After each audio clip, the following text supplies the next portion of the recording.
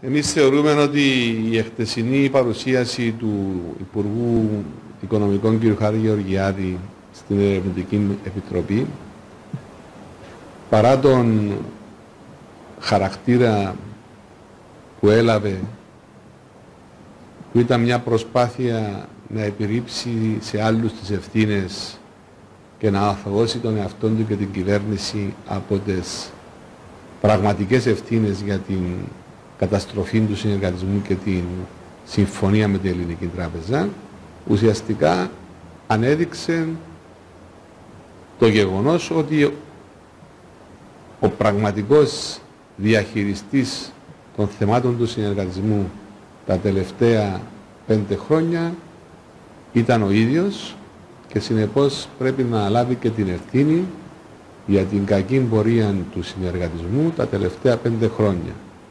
Είπε χαρακτηριστικά ότι παραλάβαμε μία ομάδα που έπαιζε στο αγροτικό και δεν μπορούσε αυτή η ομάδα να παίξει στο Champion League. Μα δεν τους ζητήσαμε να παίξει στο Champion League. Εμείς τους ζητήσαμε να συνεχίσει να παίζει στο αγροτικό πρωτάθλημα, αλλά να παίζει καλά, να είναι πρωταθλήτρια. Να είναι βιώσιμη.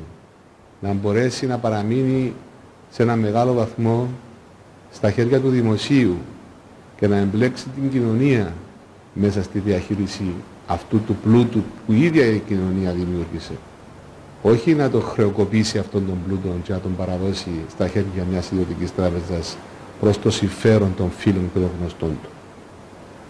Σοβαρά πολιτικά ατοπήματα βαρύνουν των Υπουργών Οικονομικών και την κυβέρνηση Αναστασιάδη για την υπόθεση του συνεργατισμού και ελπίζω επιτέλους να αλλάγουν τις πολιτικές τους ευθύνες.